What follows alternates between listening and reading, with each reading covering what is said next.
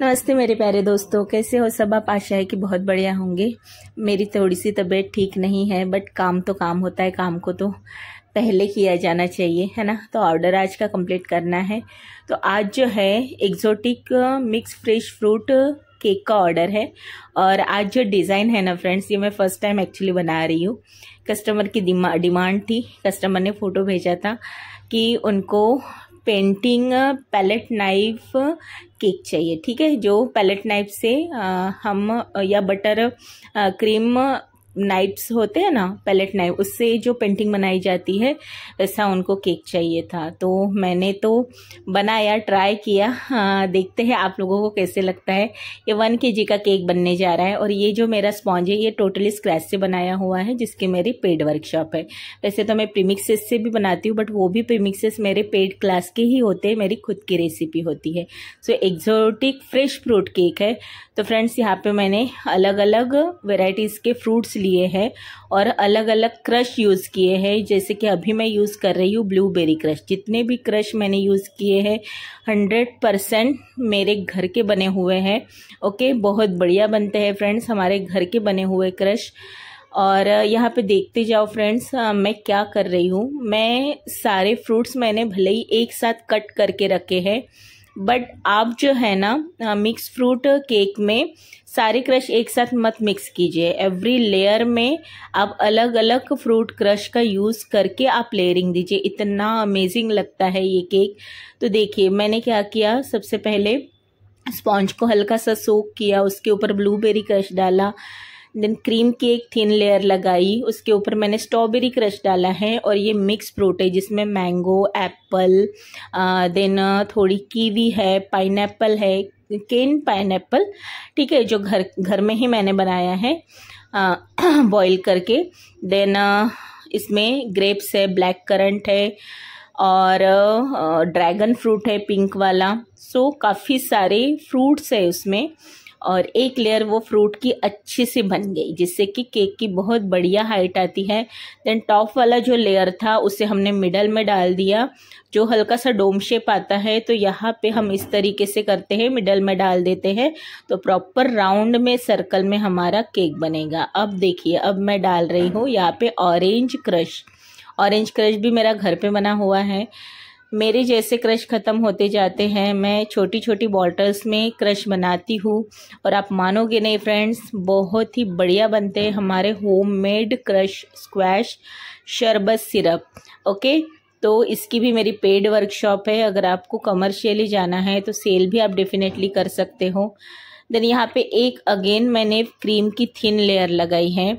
Friends देखो fresh fruit का cake का ऑर्डर है तो आप बिल्कुल भी फ्रेश फ्रूट ही यूज़ करो ठीक है? आप जो मार्केट वाले वो डिब्बे में मिलते हैं बिल्कुल भी मत यूज़ करो क्योंकि एक तो वो कुकड होते हैं उसका टेस्ट भी बहुत ही डिफरेंट लगता है। तो ये सबसे बेस्ट तरीका है आ, क्योंकि देखो हमें टेस्ट देना है कस्टमर को है ना? टेस्ट सबसे ज़्यादा मायने रखता है। और फाइनली टॉप में मैंने यहाँ पे पाइन क्रश लगाया है ओके तो इस तरीके से आपने देखा होगा तीन से चार मैंने क्रश फ्रूट क्रश यूज़ किए हैं और मिक्स फ्रूट्स यूज़ किए हैं फ्रेश फ्रूट देन फाइनली यहाँ पे इस तरीके से क्रम कोट करके मैं आ, केक को रखूँगी कम से कम आधे से पौन घंटे के लिए।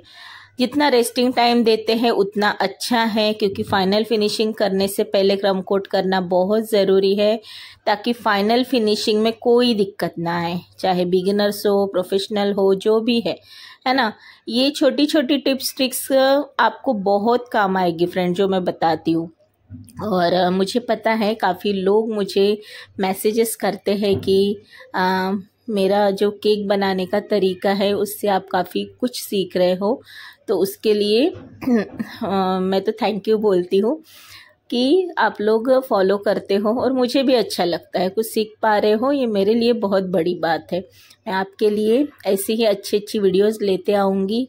सो आप भी एक लाइक करना ना भूले शेयर करना ना भूले फ्रेंड्स ओके तो फाइनली यहाँ पे उनको ऑफ़ वाइट कलर में केक चाहिए था। तो यहाँ पे मैंने क्या किया ना फ्रेंड्स जो गोल्ड कलर आता है ना गोल्ड जेल कलर उसका बिल्कुल हाफ़ ड्रॉप डालना है ठीक है? जिससे कि उसका कलर जो है क्रीम का कलर हल्का सा डल हो। तो यहाँ पे इस तरीके से आ, मैंने फाइनल फिनिशिंग कर रही हूँ। मैंने काफ़ी सारे मेरे केक की वीडियोस है वहाँ पे भी आप देख सकते हो कि मैं किस तरीके से केक की फिनिशिंग करती हूँ। और फाइनली यहाँ पे जो है मैं ब्रश की सहायता से इस तरीके से लाइंस फाइन लाइंस बना रही हूँ।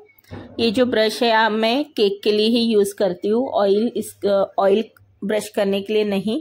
और ये देखिए फाइनली यहाँ पे इस तरीके से नाइफ आपको मिल जाएँगे। ओके और इसके लिए जो क्रीम लगती है, ये सॉफ्ट क्रीम चाहिए। अगर इस तरीके का पेंटिंग बनाना है तो आपको सॉफ्ट क्रीम लगेगा। यहाँ पे मैं ग्रे कलर का यूज़ कर रही हूँ, ब्लैक कलर का यूज़ कर रही हूँ। मीन्स ब्लैक कलर को ही क्रीम में डाला, कम डाला तो वो हो गया मेरा ग्रे कलर। और अगर डार्क करना है तो थोड़ा सा और डालिए। तो इस तरीके से आपको यूज़ करना है ये बटर क्रीम आर्ट वाले नाइफ, बट मैं बटर क्रीम का यूज़ नहीं कर रही हूँ। Simply non dairy whipping cream का यूज़ करके मैं बना रही हूँ और रिज़ल्ट मुझे बहुत अच्छा लगा ये फाइनली देखिए, मैं एक बता रही हूँ अगेन इस तरीके से आपको सॉफ्ट क्रीम चाहिए, इस तरीके से आप नाइफ पे लीजिए और आराम से इस डिज़ाइन बनाइएगा, ठीक है? तो आपको प्रैक्टिस हो जाएगी। मैं, मैंने भी फ़र्स्ट टाइम ही बनाया है। बट मुझे तो अच्छा लगा, बट कस्टमर को भी मेन बात बहुत अच्छा लगा। आपको कैसे लगा कमेंट में ज़रूर बताना। और ग्रीन कलर जो है वो लीफ ग्रीन मैंने यूज़ किया है देन नेवी ब्लू यूज़ किया है। तो शेड्स में मैंने इस तरीके से बनाया है ये केक फाइनली मेरे पास जो गोल्ड गोल्डन कलर की यहाँ पे मैंने इस तरीके से लगा दिया है। ओके जैसे सिल्वर वर्क होता है, वैसे ही गोल्डन वर्क भी मिलता है। Okay bye friend